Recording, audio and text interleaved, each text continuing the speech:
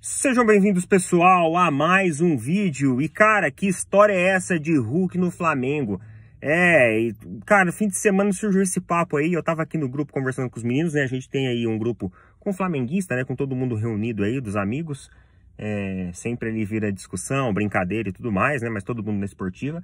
E aí, cara, um, um amigo nosso flamenguista colocou lá, é, agora o Hulk vai vir pra cá, e não sei o que, você se prepara pra 2023 e tal. E aí ele tinha, visto, é, é, ele tinha visto uma matéria na internet e tudo mais, aí eu fui ver, né, fui dar uma pesquisada.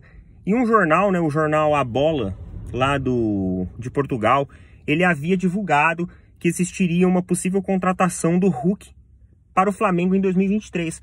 Porém, o Jorge Nicola, ele acabou confirmando né, que essa informação não, não seria verdadeira.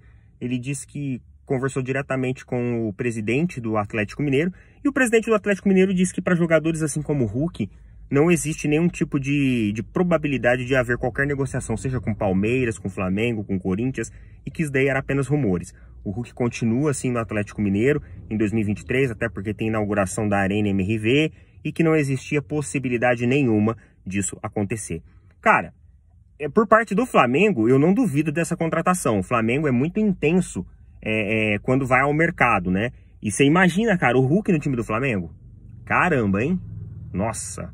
Porque eu vou falar para vocês, ele pode estar tá ali num desempenho um pouco baixo no Atlético Mineiro e tudo mais, mas é o tipo de jogador que é só pegar um time bem montado, um time tecnicamente bem treinado para voltar a render muito bem. Eu gostaria de ver ele no Palmeiras, por exemplo, um puta de um jogador. Então, assim, é, em termos de projeção a, a, em questão de mercado e Flamengo, eu não vejo assim impossível do Flamengo contratar um jogador desse não. Mas, né, como o, presidente do Atlético Mineiro veio, desmentiu toda essa informação, tem a inauguração da Arena MRV, então, querendo ou não, o Hulk ele é um jogador que traz muita publicidade, traz muita propaganda, traz muita força é, em questão ali de elenco, né, para o time do Atlético Mineiro. Então é bem provável que realmente não aconteça, visto que o contrato do Hulk vai até o fim de 2024 com o Atlético também. Então é isso aí, pessoal. Coloca nos comentários aí o que vocês acham disso. E aí, flamenguistas, gostariam ou não gostariam de ver o Hulk com vocês? E valeu. Até mais. Abraço.